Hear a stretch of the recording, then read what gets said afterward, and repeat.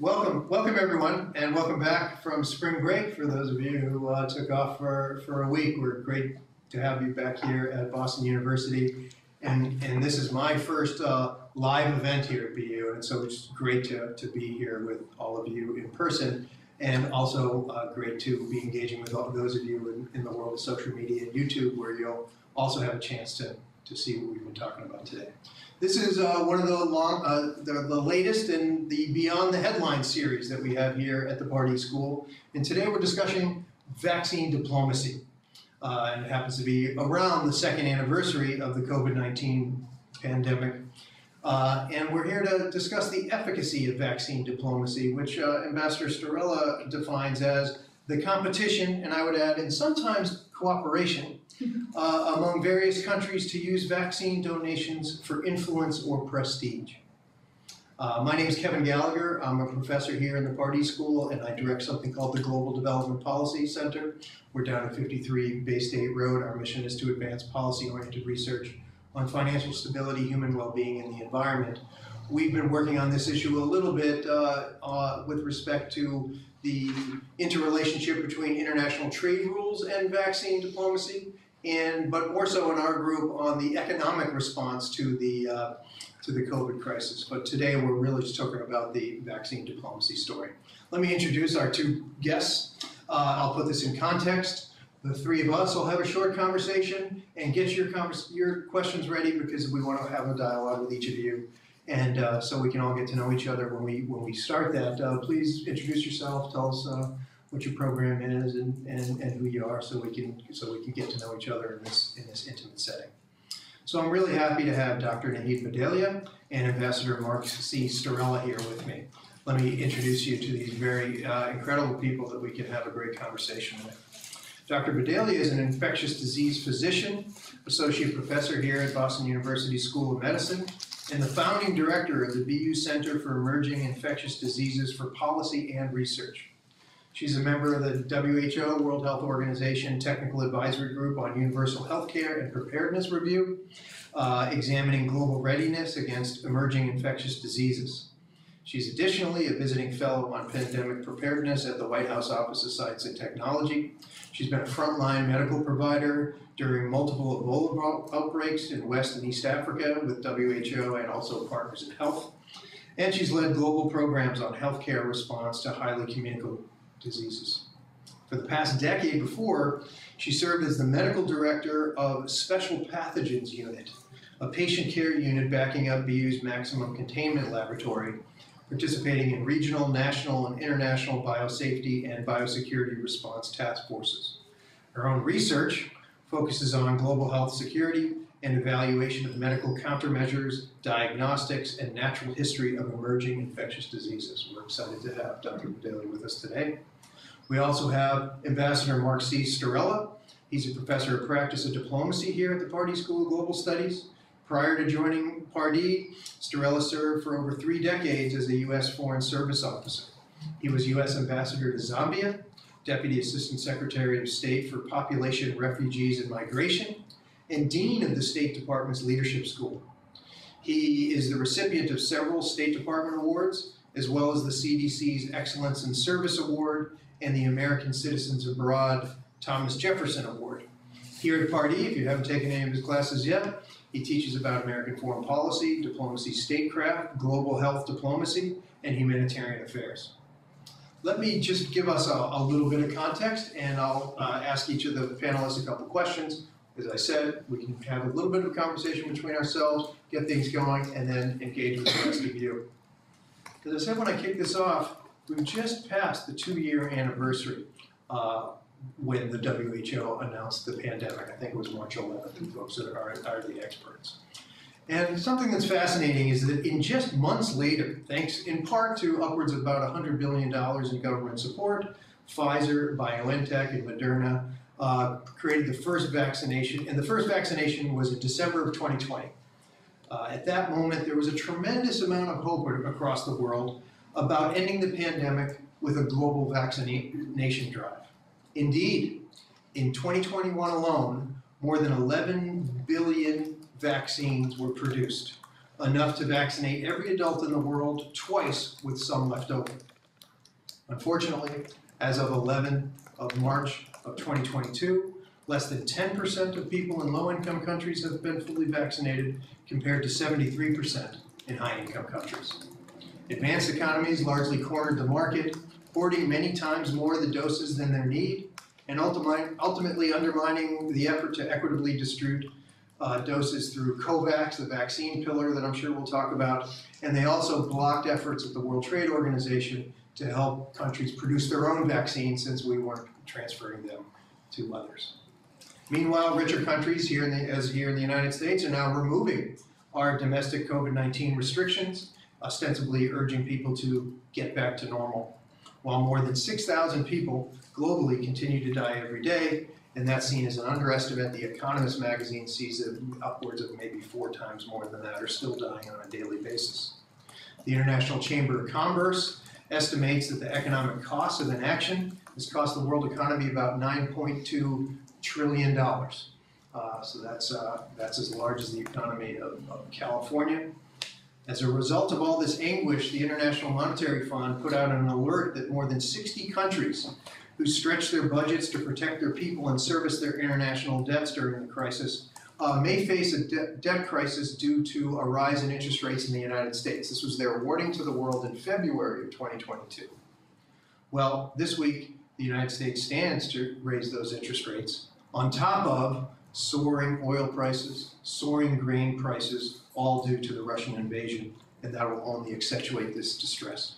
It's not all bad news. Just yesterday, there was a breakthrough in the negotiations over something that we'll probably talk about called a TRIPS waiver. Developing countries said if you're not going to help us with gain access to these vaccines, we want to produce them themselves. The United States was uh, was been in favor of this, but some European and other major pharmaceutical producers have uh, have really blocked it, and there was a breakthrough yesterday uh, that we may see the light on that. Um, so we'll, these are the kinds of topics that we'll be talking about. I wanted to sort of frame it a little bit. And my first question is to both of you, and I'll, I'll start with Dr. Bhadelia. Uh, has vaccine diplomacy, defined again as the competition among various countries to use vaccine donations for influence and prestige, help address these global needs? And if so, how? If not, why? Yeah, Kevin, thanks for that.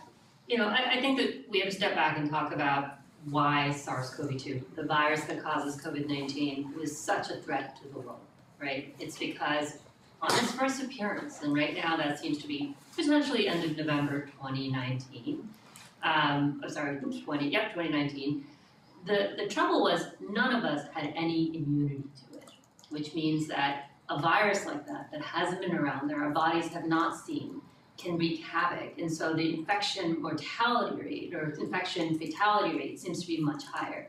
So our goal was to basically deep increase all of our immunity, right? And that's what we've done kicking and screaming over the last two years through vaccines, through infections, through um, through all the work that we've done is to increase the baseline immunity in the global community. And the reason we do that is because we've seen what happens when you are able to get those vaccines to people who need them. Look at the numbers here in the US, even with our numbers, which are I think 65% or so uh, in, in having one dose, you are looking at a disconnect between the infections as well as hospitalizations and deaths. And that matters. Infections matter. We can talk about it another time. But the reason that disconnect matters is that that allows the, the infections to continue without overwhelming the healthcare systems. And so what's happened over the last year, the goal of you know trying to get the vaccines out to as many places as possible has been to shield particularly healthcare systems that don't, you know, if our healthcare system was overwhelmed, imagine the impact that this has had on healthcare systems that at baseline are stretched, that at baseline have maybe one physician per 100,000, maybe you know 10 community health workers per 100,000 add to that the burden of this of the new infections that you're seeing.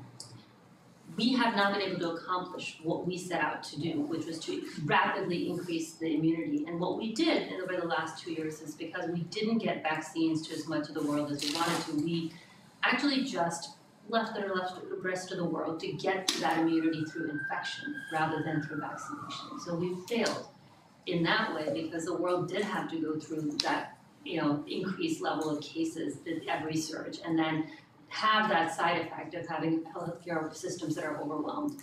The other thing that I'll say is that a lot of this, so why do we, um, I'm sure Ambassador Serge Storella will talk about this in a second, but why was COVAX created, this utility, this partnership with CEPI, with WHO? So CEPI is Coalition for Epidemic Prevention and Innovation. It's an international organization that was formed in the aftermath of the West African Ebola epidemic to really help push forward new tools, right? Um, vaccines that can help with emerging pathogens.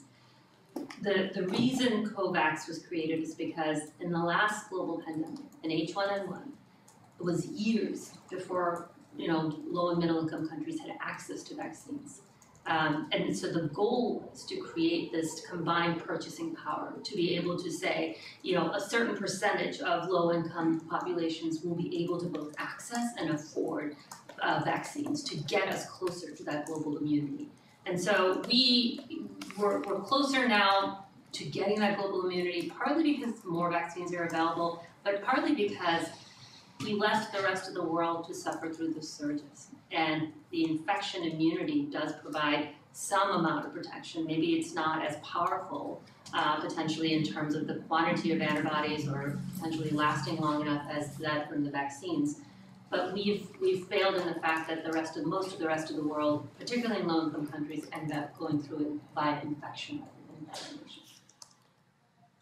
Ambassador, uh, has the vaccine diplomacy, so there's been, it's, if you look at the press, this idea of vaccine diplomacy of countries competing against each other to not only deliver uh, vaccines, but to, to do it, A, to help the folks there, but also to achieve other objectives, uh, other foreign policy objectives.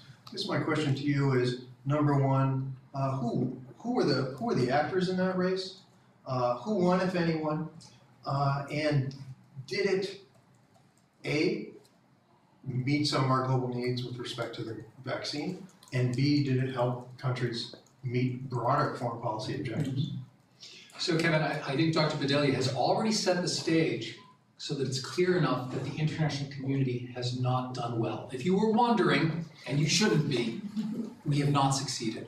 And you use the word failed. Um, there is no good time to throw a pandemic. But it happens that this pandemic struck the world at a time of broad disruption in international relations. By disruption, what I mean is that there was a certain kind of international order that's been building. You've, in your courses, you've heard of it referred to as the liberal international order. It's a series of agreements, of understandings, of institutions. And in the best of circumstances, they don't necessarily work that well. But this pandemic hit at a time when the United States and China were at loggerheads. It hit at a time when um, we we're facing other disruptions, economic disruptions, but also migration, also all the impact from climate. All of this, unfortunately, created an environment in which there was not sufficient trust for the institutions that existed to operate effectively. And then I think, frankly, we were too slow in developing on the, on the run institutions that could be effective. So a really good sign of this is uh, Ebola hit in first November, but really became known in December and then of 2019 and then January of 2020. COVID. Uh, COVID, what did I- yeah, part Although Ebola did also occur in December. it must be, must be something with the weather. Uh, COVID. It took until July 1st of 2020 for the UN Security Council to pass a resolution which was utterly toothless. And unlike the reaction to Ebola, the UN Security Council did not identify COVID as a threat to international peace and security. And then there was another resolution in February of uh, 2021, which also had no real teeth. So I think that the answer to this is that instead of having vaccine diplomacy, we went full head on into vaccine nationalism. And the big players were the countries that were able to produce vaccines, and then the countries that had the money to buy vaccines. So the United States, Europe, China, India, Russia, even Cuba got into the, into the game. Um, and given the, the low level of trust, two things happened. One was COVAX, and we can talk about COVAX and, and what it did, this consortium to try to buy up vaccines rolled out too slowly because the instrument was not really ready yet. And it could not compete with nation states that locked up the vaccine by early purchases. I brought a little, I brought a little graph with me here, uh, which is a little bit scary. And I'm not sure anyone out there can see it. This is a graph that's relatively early in the process, and that was really important, of who bought how many vaccines per person. Now, you think it's going to be the United States locking up the vaccines, but actually Canada bought nine times the number of vaccines it needed right off the bat. Australia was also high, then Britain, then the United States, European Union, Japan, Nepal, India, Uzbekistan. Countries locked up the vaccines. And then the next step was the competition. And that competition, frankly, I think, was really cynical. Countries started to say they would provide vaccines. And frankly, I think what they were mostly looking for was good press.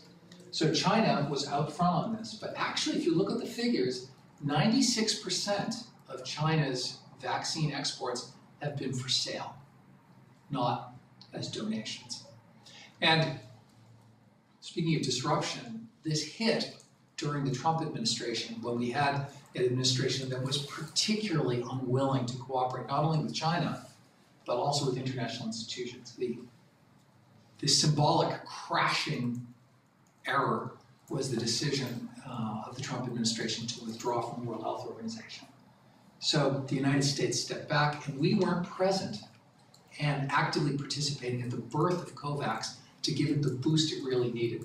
Now we're in the game and things are beginning to change, but I think I'll stop there so we can get on to the next question.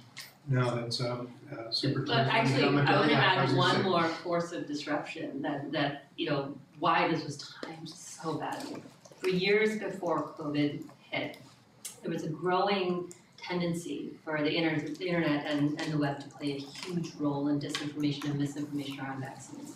In fact, countries, Russia has actually been identified in studies for a couple of years before the COVID-19 pandemic of uh, deploying bots on social media to basically cause confusion, not anti or pro-vaccine, but just cause confusion. So there was this element of international interactions, right, that was now becoming part of this disinformation warfare, which then made the, the vaccine race actually even more complicated because what you saw was internally there was a lot of disinformation and misinformation that lo- led to loss of trust and you know inability of not just uh, communities here in the U.S. but everywhere around the world being affected by that. But the second part of this is actual competition in whose vaccine is the best. There was an AP study about a uh, or AP story about a year ago that said Russia was paying Instagram influencers to basically put up like 100 euros, put up something organic on your feed about why Pfizer doesn't work, right? Specifically targeting who the manufacturer and the exporter was. And this types of interactions actually are not just limited to Russia. A lot of countries actually partook in, in this sort of disinformation warfare um, across the world that affected acceptance, information, and distribution, I think, of many of these vaccines as well. Do you mind if I jump on Go right ahead. Dr. Bhadelia's comments? This is another amazing thing, what, what we just heard. And we're experiencing it domestically and internationally. And this has been a big public diplomacy war over vaccine diplomacy. It's gone very sticky. There's a lot of, what I would say is there are, probably five times as many announcements of donations as there are actual donations. I'm not going to put us in the same boat with um, Russian bots, but we announce everything we donate, and China does the same thing. Part of what's gone a little bit haywire on this, I think, is that honestly, people are not that dumb. And they see what's going on. And a lot of countries around the world have said, you know what? You made these promises, you asked us to trot out, and I would say this is more China than the United States, trot out and express our gratitude very publicly, and then you asked for things with strings attached. And this is one of the reasons I think China's efforts have fallen pretty flat, because they connected their uh, vaccine diplomacy explicitly to the ability to conduct certain kinds of trials in countries, sometimes not offering those countries the information about their own people, in these trials and then even asking for favors on completely unrelated subjects like the status of Taiwan. So vaccine diplomacy is doing very poorly uh, on this, in part because of this crazy information space. But I, I feel, and I, I really would like to, maybe we need to discuss this later Yeah. as well, but how much is the truth getting through? And I'm not really sure. Yeah, with all these uh, outlets, it's amazing how difficult it's been to get real information about, uh, about, about all of these trends. To piggyback on one thing on that, uh, one of the, to, so it's not all doom and gloom, I would, like to know what, what each of your take is on this idea of, of a TRIPS waiver. So the World Trade Organization is another one of these global institutions where many developing countries led by uh, South Africa and India said, look, if COVAX can't get going in time, if you aren't gonna donate, even though you say you're donating, uh, let us produce this ourselves. But under world intellectual property rules, it's not that easy to take a patent from Moderna and break it, uh, and plus the thirty-five other patents that it would take to actually pull off a, a, a real set of trials and actually to, to diffuse the technology into, a community and export it and produce it so forth is, is not easy, but there are a lot of places that have the capabilities, but they didn't have the legal right to do it. I should say that, uh, uh, you know, our intellectual property rules also make it illegal to share that data with, uh, with countries, whether it be China and its bilateral, uh, US firms around the world are not allowed to share that data either. That's just as an, as an aside. So, uh, the Biden administration, uh, did initially support the, the TRIPS waiver, as did some, uh, other major advanced economies, but, uh, other large pharmaceutical producing economies, uh, have really pushed back on this, and now here we are, almost too late, or I'll ask you folks, is it almost too late? Uh, but just yesterday, there was a breakthrough, and it seems like, uh, at least for vaccines, we're moving towards a global agreement where countries will be able to break these patents and produce uh, vaccines on their own to distribute to their own people. And I was surprised in some instances export it to other countries, which is a little bit of a surprise. What is your thoughts, Ben? How have you tracked this process and, and what kind of promise might it have for, uh, for what, I think there's, there's two things that have already come out that we haven't said it so clearly. One, the international response hasn't been, has been a failure, to quote Dr. Bhadelia. And two, it's been very uneven with the poorest countries uh, largely being left to their own, as Dr. Bhadelia said, uh, their, their coping mechanism has been infections. Thoughts on that, Dr. Bhadelia? So in, in biology, when we look at like procedures or, or, you know, uh, mechanisms, what we say is when something is necessary but not, you know, sufficient. So the TRIPS waiver is necessary but not sufficient to move forward, not just for this scenario, but I think all the stuff that we do during COVID sets a path, right, for what happens next. The reason why it's necessary but not sufficient is that in addition to having the permission to create those vaccines, what manufacturers abroad need in many other countries is the tech know-how, the recipe. And the companies have not been as forthcoming to share that recipe. You know, there have been efforts to, you know, back engineer um, for reverse engineer some of the mRNA technology. I mean, I think we're talking mostly about mRNA technology because it is a powerful tool, and I don't think that most of the general public recognizing uh, recognizes what an incredibly powerful tool it is because it is a plug and play technology that can be used in many, many different future emerging infectious diseases threats. But it is also one that's going to change the landscape if we can do it right in terms of endemic diseases, everything from malaria, which by the way, there are mRNA, now mRNA potential efforts being looked at. And so this is a high stakes game for many of these companies who see this as a proprietary technology, which, you know, giving up the, the recipe means, you know, and I will, I will step back and say, I clearly support giving up the recipe and allowing the rest of the world not to have millions of people die from endemic infectious diseases. But, but what they see is a big loss and they don't want to share that recipe.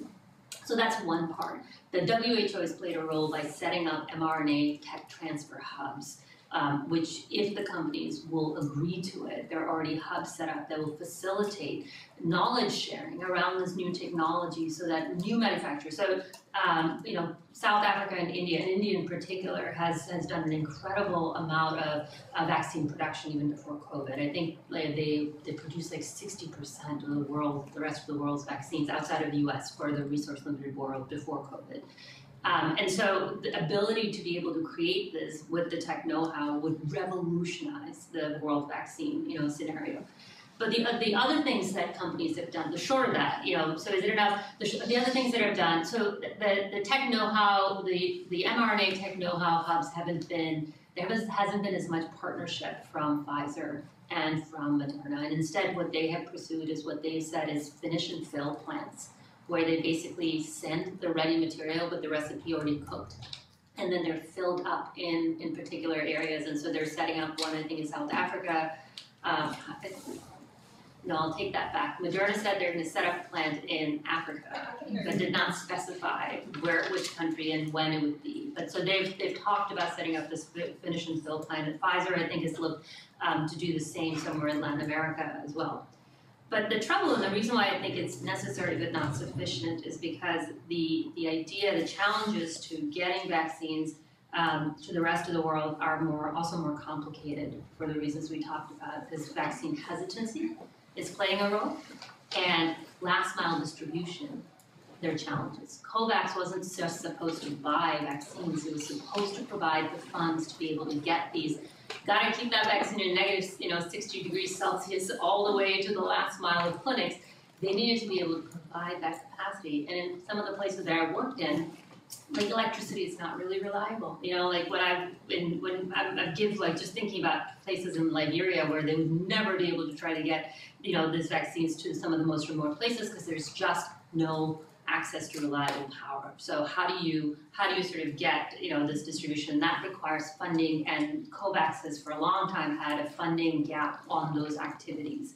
And then vaccine hesitancy, which of course we're all battling. So we need more supplies, but we also need investment in a lot of those other aspects.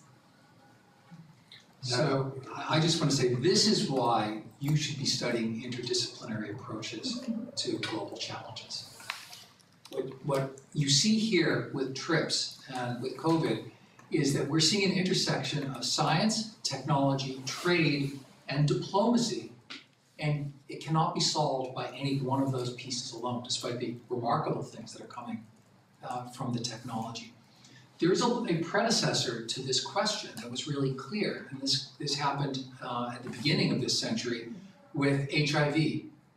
And at that time, antiretroviral drugs were incredibly expensive. And countries, especially South Africa, but others, said respecting those intellectual property rights, that results in the deaths of many, many people. The United States initially resisted and we resisted in part because of the strong power of so-called big pharma, those big pharmaceutical companies, their influence in Washington. But remarkably, South Africa and other countries mounted a very effective civil society campaign that ultimately resulted in President Clinton um, saying that the United States would waive our intellectual property rights on some of the aspects of, uh, of the antiretroviral drugs. In the case of COVID, we did not have in place a tripwire that immediately led to steps that should have gotten us a year and a half ago to where we got to yesterday. That's an institutional and diplomatic problem. We should have addressed this somehow earlier. It's not as though we didn't know this was coming. Everyone who studied this knew a big pandemic was coming. Uh, amazingly, I, with, the class I teach on the subject, I have them watch a movie from uh, 2011, Contagion.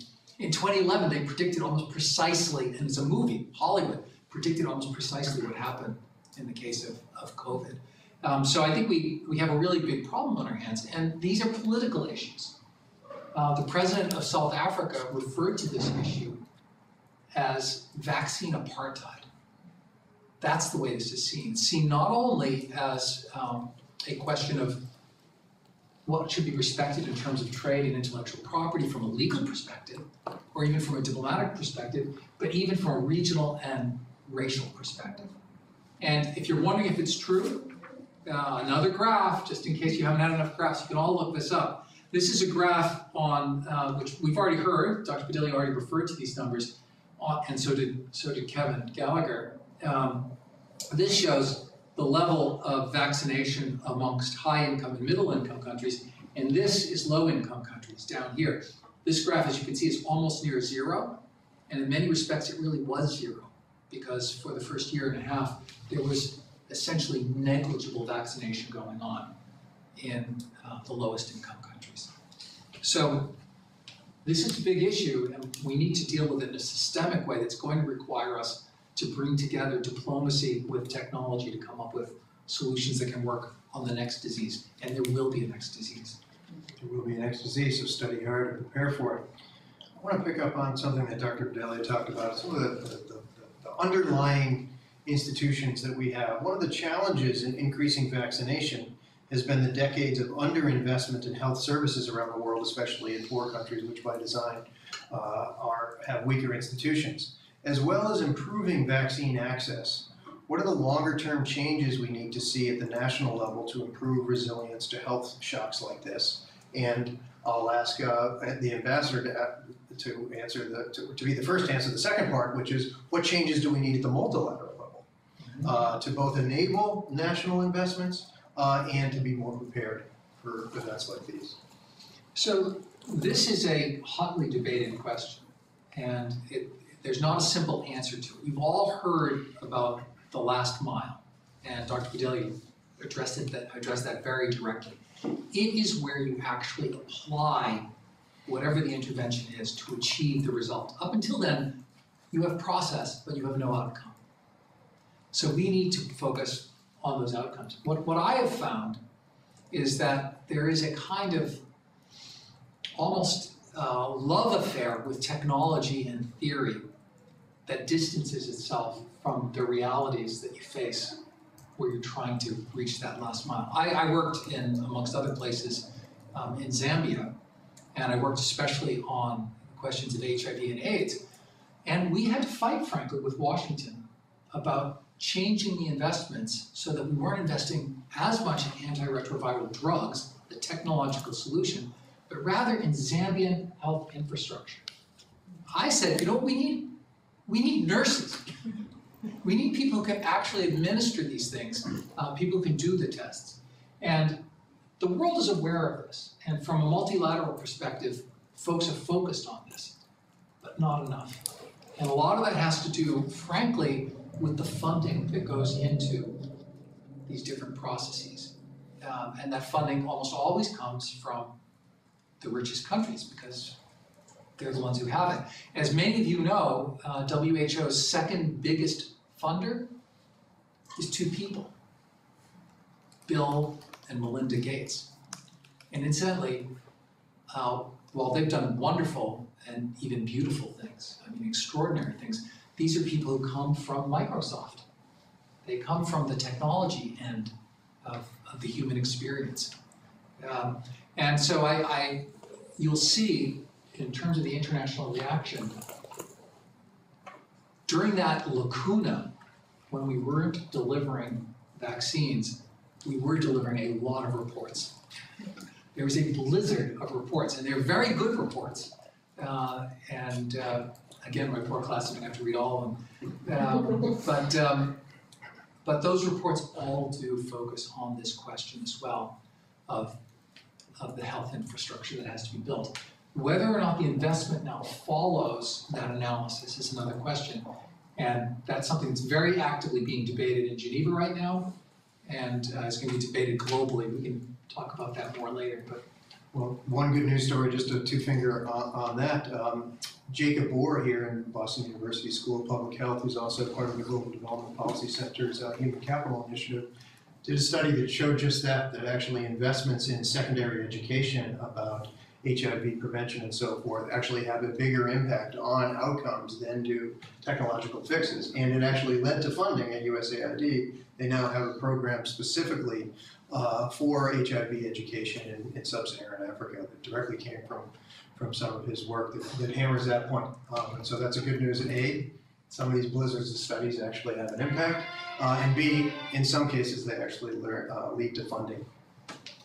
Yeah, I, um, I was gonna just give you an arc of where this discussion of health systems preparedness has gone, right? And I think Ambassador Storella can give you a much longer arc, but through my career at least, right, this conversations about how are we beholden to each other as sovereign nations in terms of our responsibilities to everybody else around us when there's a threat within our borders, within our infectious diseases. And now this is a long-standing discussion, right? I mean, it started like you know, cholera in Europe, there were like conventions about how countries will manage exports and trade restrictions and travel restrictions. And it's gone through the whole like twentieth century in terms of the creation of the international health regulations, which is a soft law that basically binds uh, signatories to say that now in the current version that they will report, they will surveil, detect, and report threats. So they will surveil, detect, report, and respond to threats within their borders. Um, and interestingly enough, like, like when first SARS hit, this question of like, okay, what was China's responsibility of telling everybody else that there was a potential novel respiratory virus within their borders? And China got a lot of flack about the delays because by the time they reported that threat, uh, apparently was in, already in many of the capitals, you know, many of the capital countries in China. And, and there was a point that that's too slow to the point where I think there was a, in that spring of that SARS-CoV uh, pandemic, I think SARS-CoV, uh, SARS, the original SARS, made it from Asia to North America, back to Asia within 72 hours. The connectivity of our world is such that the, the ability of our neighbors, the ability of our community, global community to respond to threats and this health systems preparedness, all of our destinies are, are tied to that. And so in 2005, you know, there was a whole reset and, and the WHO had a revision of the, of the IHR saying that the, they have to, countries have to report within a matter of days if there's a threat within their border. Um, after Ebola, when it seemed obvious, there was a study right before Ebola, West African Ebola epidemic, that said that only 20% of the, of the signatories that signed up for IHR in 2005 actually had the capacity to do that. Detect, surveil, detect, respond, and report, right? And so if that's the case, what are the gaps? And so the world set about trying to answer this question again of how do we get all the countries to, you know, to the health systems preparedness that they need to be on. And at that point, um, there was something called the Global Health Security Agenda, this bilateral, multilateral partnership that was put to, sorry, multilateral partnership that was put together to try to um, map out what are the, really in detail, define what are the capacities that are needed. And out of that came the suggestion of creating something called joint external evaluations, where external you know, uh, teams go into countries, help them map out where they are in terms of their capacity. It was meant to be a roadmap for increased funding. It was meant to identify. So why is that? Why is why is it not the same everywhere? Because of what Kevin um, just said, right? Which is that in many different countries, um, the preparedness is a hodgepodge of whatever project that country ended up getting like, you know, Nigeria is amazing at polio tracing. And in fact, their polio tracing coordination was based on, their Ebola response was based on the investments that were made on polio tracking and tracing, right? So everybody has these like spots of where funders put money. And so the preparedness matrix looks different. And guess what? Now, you know, so there's in the aftermath of that, there was all this discussion about, okay, let's try to figure out what the scores are at each of the different countries, because this is what we do. We try to quantify really complex problems that potentially cannot be quantified, right? Because what they did, uh, there was a effort to create something called a JEE score that gives scores to each of the different countries and domains of this preparedness. And um, we apparently did really well in the United States. Number one, that should tell you that you know scores can't always reflect you know how countries will respond. And there's a new effort, which I think Kevin mentioned that I'm part of uh, at the WHO level, the Universal Healthcare and Pandemic Review, which is meant to sort of say, look, it's not just capacities. Let's relook at the existing pandemic metrics and health systems metric. First, you can't look at health systems, you know, pandemic metrics without understanding how viable and living and successful a healthcare system is underlying it. So what are the metrics that we're collecting that can tell us a bit more about the health of those healthcare systems and its ability to take a shock, which is a brand new virus that nobody has immunity against. And the second was that it's not just about capacities, it's actually about the ability, the capability to employ it in a operational way, right? And and so that's where we failed. We had all the capacities in the world, I think, the United States. Where we failed is our about the ability to take those capacities, work in a cooperative manner, and and be flexible when new threats are available. And I think some of those are the disinformation stuff that we talked about, the distrust in government, the things that we would not have anticipated when you only look at it from a technocratic perspective or what is needed to handle new threats.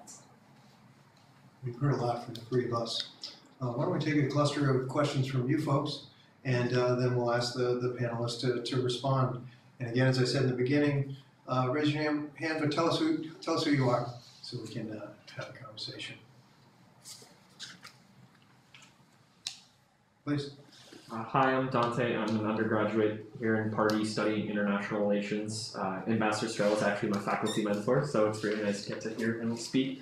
Uh, I had a question about whether or not there is a bigger role that private companies can play in this greater arc of vaccine diplomacy, where, especially here in more liberal democracies, you know, the influence of private companies are something that has a lot of say in the actions taken by our government. So, in the experience of COVID 19, have they been sort of elevated to their own entities where now you're seeing countries almost making deals with companies as opposed to other countries?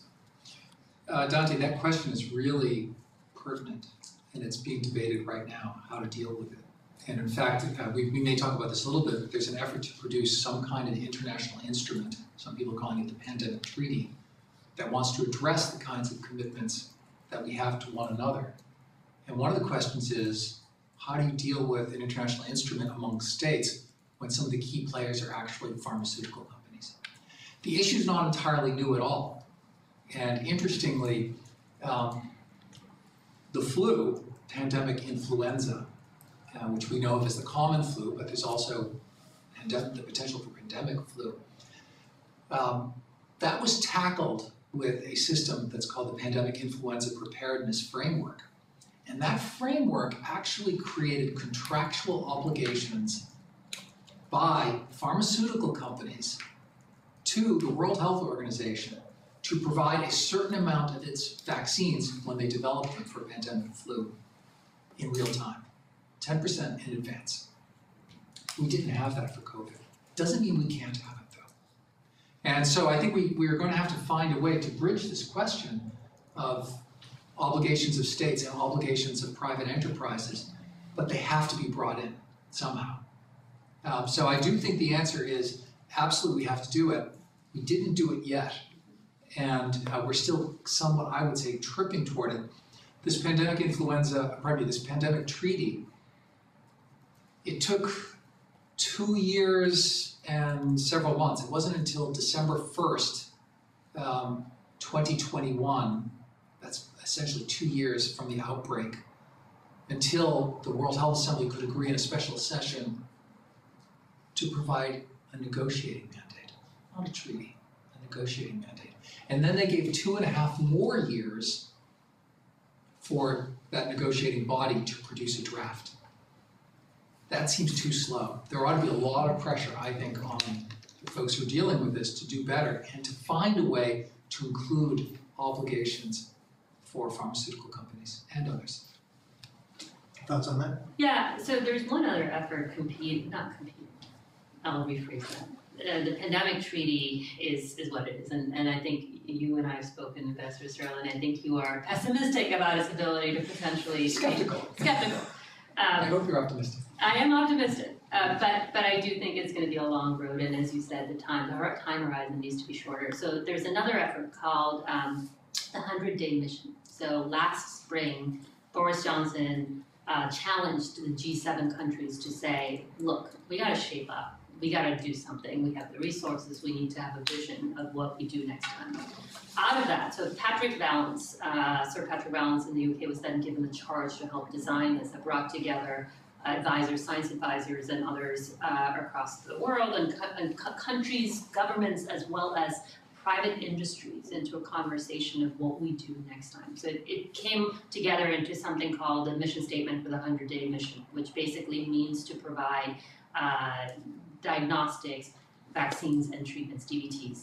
It's a whole nother, DVTs is a, in medical lingo, DVTs means like blood clots, so I have to like be careful when I, when I say this, so but, but DVTs, they're, they're meant to provide, the ability to provide within the first hundred days of a new threat, DVTs to, that are available, safe, their proven efficacy, right? So what's the challenge, how do we get there? And so if you guys are interested, I would read that because I think in some ways it's helping define the charge.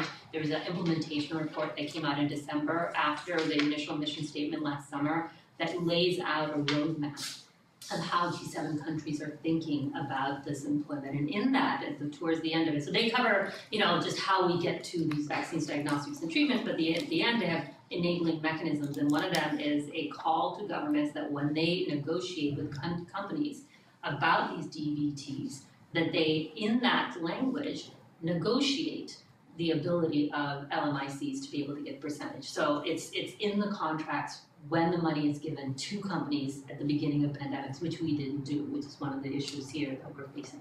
Um, and so we'll see if that goes anywhere. The the other thing that the report is really great for is it really lays out um, private industry alliances, like the Intrepid Alliance is part of the big group of companies, pharmaceutical companies that are working on antiviral drugs.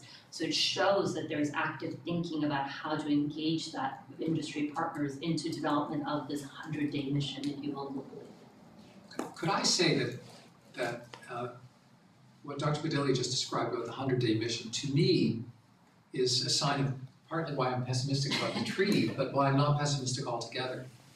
We really need not to crowd out individual efforts, coalitions of the willing, coalitions of the able, with some central treaty that would take up all the oxygen. I don't think that's gonna happen, and the hundred-day mission is a really good example of something that's going on in parallel. To me, that's absolutely essential, because we're not gonna be able to get in the halls of Geneva um, a broad agreement on a lot of the things that absolutely have to be done. But the G seven, maybe it can do it, maybe the G twenty can do it, maybe other groups can do it. More comments, more questions? Hi. Hi, uh, my name is Sanedi. I'm uh, also an undergraduate major, majoring in international relations, and now actually minoring in public health. Um, and I had Professor Storella uh, in another class. Um, I have a lot of questions, but I guess I'll just ask one. Um, what do you think? Uh, we, we saw the graph of higher income countries and the vaccination rates in the lower income countries. Um, and earlier on how the AU, um, the African Union, responded um, to, to the COVID crisis, how they kind of needed uh, a bit more help from higher income countries. So, what do you think now that we're, at least in America, kind of getting towards the end of the restrictive policies of COVID? What do you think Western countries or just higher income countries can do to help lower income countries um, today or in the future to help um, combat, I guess. Um, we talked about investing in healthcare, but do you think that could be in place now, or other measures that um, higher income countries can put in place to help um, lower? Yeah, I'm going to start by saying the pandemic is not over, even though we don't have our masks on right now. um, I am going to say that the my experience with epidemics and outbreaks and pandemics in the past has been that even when they are over, there's a very long tail of recovery. IMF had a study two years ago that showed in the five years in the aftermath of most epidemics, the income inequality in countries goes up. The Gini coefficient, right? If you guys are familiar with that, which measures income inequality within countries. And beyond that, the devastation. So what, what can, you know, what can rich countries do now? I think first and foremost, we need to, for our common destiny, increase global surveillance for new variants because that poses a threat to our ability to, with all these vaccines in hand, to get back to normal. And there is work on that. There is, uh, there is the WHO has a biosurveillance hub that's been created in Berlin. Uh, there is, you know, efforts to try to build up surveillance globally. But what's happening is, you know, just inching back into the diplomacy field when countries actually find a variant. Look at what happened in South Africa. They shared that they had discovered a new variant and they were punished with you know travel and trade restrictions rather than commended for getting their capacities up and running to be able to identify that. Um, so one is that surveillance, two is the continued effort to try to get the most of the world vaccinated. Um, we are on our, Pfizer just submitted a request for a second booster for those over sixty-five. So there are portions of the rich world that will have gotten four doses, where most of the rest of the world has barely gotten one. So we are increasing, we're continuing to see this and, and to bridge that, the demand for the actual quantity of vaccines as well as all those mechanisms that allows us to get the vaccines to where they need to be is gonna be important. Better or for worse, one good thing is that what we know about immunity with vac- with uh, vaccines as well as infections is that although our protection against infection is likely to go down, in people who are under sixty-five, there's likely still, for a long period of time, persistence of protections against severe disease or hospitalizations. That means that if you got your three boosters, you know, you might still get an infection as your antibodies go down, but your, the rest of your immune system is gonna protect you against more severe things. That means that everybody, now that we've increased the global amount of immunity, hopefully the impact is not as much. But what's the wild card? The wild card is that variant, um, which we want to sort of protect against. And, and that's, that's one of the things that we can do. The second is to help resource limited countries with that long tail of recovery. Um, WHO had a report, I believe it's WHO, last fall, that by that point, the numbers from the summer said that over 115,000 healthcare workers had died globally um, from COVID-19. And think about communities that are strapped for healthcare workers to begin with, right? And when you talk about the healthcare workers going to leave, not just because, not just they died of it, but they're leaving the field here in the U.S. and elsewhere, and then attrition is really going to be damaging to the rest of the indicators. Immunization rates have gone down. Childhood immunization rates for other endemic diseases have gone down by about 20%, looking at some reports. But tracing for tuberculosis and HIV and diagnostics have gone down. You know, people aren't getting tested as much for HIV and tuberculosis. That means those rates will go up again. And that's just the field of infectious diseases. We're not even talking about impact on childhood education, women's empowerment, early marriage, you know, of, of young girls who are now out of schools who are being pushed into child marriages. We're talking domino impact on economies because they had to shut down because it's a new variant and there was a surge. This is this is the tip. This is just the first challenge. The waves of this pandemic continue well after the infection rates go down.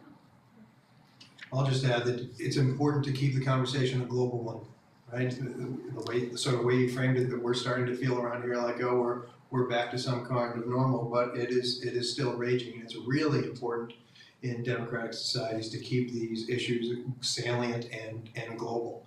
Just so, uh, at the G7 last year, the United States pledged thirty billion dollars to create a what's called a resilience and sustainability trust at the International Monetary Fund, which would help countries react to pandemics and climate change. Uh, last Thursday, the bill that uh, was going to allocate funding for that cut the funding for that out. After the G7, we went to Glasgow to talk about climate change, and we pledged a huge amount of money for something called the Green the, the Green Climate Fund.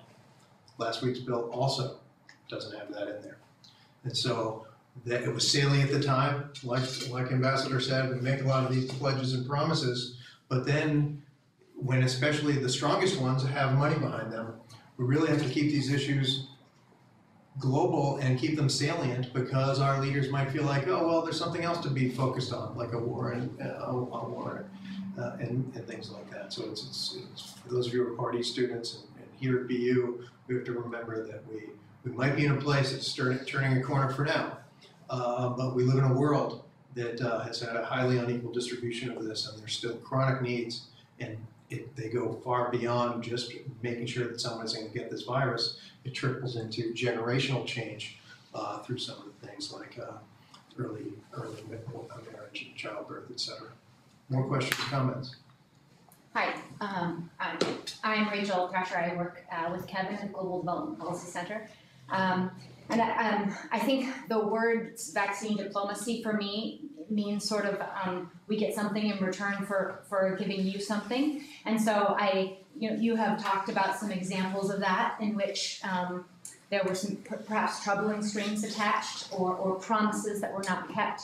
Um, so uh, I guess my first question would be, have there been, have any of these efforts at, at vaccine diplomacy, good and bad, had any impact on balances of power, political power, um, uh, or relationships that you've seen? Um, and second, is there a positive vision for this vaccine diplomacy? Um, a, a way forward, what would it look like if it was well done? Before you catch that, I know we're running out of time a little bit, and you had your hand up, so why don't we just get both of them up here, and you folks can make some, some closing remarks. Hi. Hi, uh, my name is Kiara. I'm an undergraduate studying IR in public health and a student of Professor Storella's. Uh, I'd ask Dr. Bhadelia, you mentioned that country, like low resource and developing countries, generally their health programs target issues that have received funding on a particular topic. One, is there an effort to kind of universe, universally boost the health capacities in these countries that aren't specific to a particular issue, and also is there an effort to address um, surrounding like social and cultural issues like child marriage that may not directly be health issues but definitely have implications on community health. I'll let you take the first one and I'll take the second. Hmm. Um, so let me start, Rachel, by saying that um, there's a phrase out there that we need to examine, which very much focuses on this intersection of science and policy. And that is no one's safe until everyone's safe. First, this creates, this thought creates the fundamental basis for the kind of trade off that you were speaking of. And Dr. Bhadelia has talked about the importance of surveillance. Surveillance means having sentinel systems out there. It means having somebody in the DRC who has the ability to detect something and report it in a timely way. I hate to put it in such base terms, but that creates something to trade. Because we are not going to have those surveillance systems where we need them, which is not in the United States, although we need them here too, unless we invest. And frankly, I think sovereign countries should be in a position to say, we want something for you to have access to, to us and to be part of the system. The problem with this is that it's not, the technology in a way may be changing all of this. It may be that somebody with a suitcase just traveling in DRC can take a swab and report the DNA back to CDC without involving anyone from the DRC. Um, so I think that that causes, we have to see how this develops. What I think has happened that we've seen is that the world community has not felt that we're not safe, we're not all safe until everyone's safe. That is not the way we've acted. And I would add that there's some things that are grotesque. Um, amongst people working in the pharmaceutical industry, it's been reported, I don't know if it's accurate exactly, that nine new billionaires were minted through this through this pandemic. And the pandemic has been wonderful for rich people and terrible for poor people. Billionaires have seen their incomes or their their not their, their assets go up in value by over 60% during the pandemic. There's this, there's this, there is to me a palpable injustice in all. And I hope that that will trade, will will push uh, the desire for people to see their interests more broadly in the interests of others. I'll close with just one optimistic note on all of this. And that is, there is a precedent that's extraordinary, and that was the eradication of smallpox. That took place at the height of the Cold War, at a time when the United States and the Soviet Union were absolutely at loggerheads.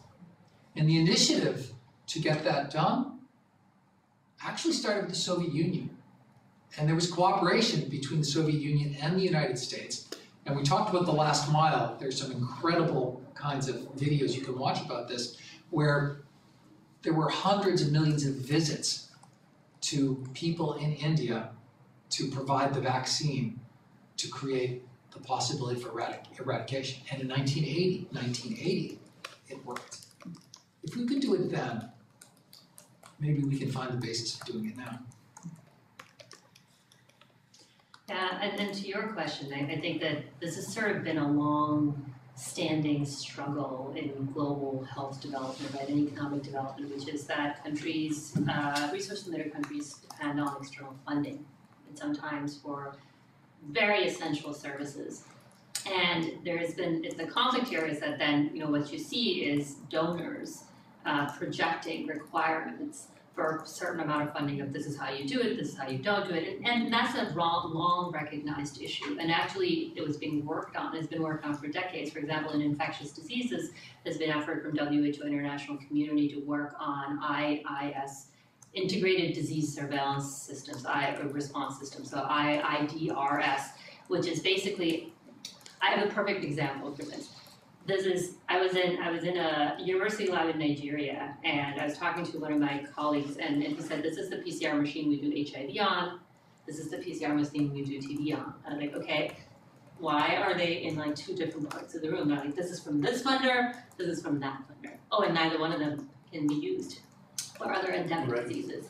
Right? That's a perfect example of how there's like vertical lines of funding. They're supporting certain programs and with them come the capacity and they're separated. And there's been a long-standing effort to, in, with that I, IDRS, to try to integrate surveillance, infectious diseases surveillance that's like more at country level. Um, so, but, but it goes to this idea that it's more complicated because it goes to the, the governance, you know, and this is, ventures more into you guys' field than mine, but this idea of governance of, of countries deciding, right, how much of their budget goes to what. It's the external influence of the external funding itself, but then all internally the priorities of countries. And there have been there's good good conversations about this and there's bad conversations about this. The good conversations about this is how do you support positive investments in health sector and other things in countries that maybe don't have the best governance. The bad about this is how do you that that same effort can venture into telling other countries what to do against the, the benefits of their own citizens, right? So how do you balance that? In the newest version, so the bad things about this was, I think in nineteen nineties, right, structural adjustment programs was, uh, the World Bank and others sort of imposing requirements. Remember that, that long time ago in terms of adjust, providing requirements for countries to re, reshape their economies and that had negative impacts and fallouts. But there could be new, like, you know, uh, priorities or new efforts or tools, and one of them in the G7, for example, the hundred day mission that they're thinking about is using IMF. When IMF meets with countries, they have something called Article IV Consultation, where they basically the economists go in and they talk to their countries, their relative countries that they're loaning to about their fiscal health and and and you know economic sort of plans. One of the things that's proposed is that part of what IMF does is that it integrates pandemic requirements of pandemic preparedness health metrics in in their economic evaluation. How much are you investing in this? So that could be one way in, in how we both, you know, provide more funding, potentially with restrictions, but then have other levers in which we which we help uh, countries shape their investment in those sectors. Not enough of it is multidisciplinary, as you said, um, still.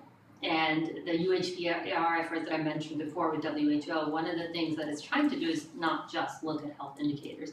It's also looking at, you know, things that you talked about, which is uh, education and, and women's empowerment as some of the indicators of, of societal, just general public health, you know, um, uh, responsiveness, if you will.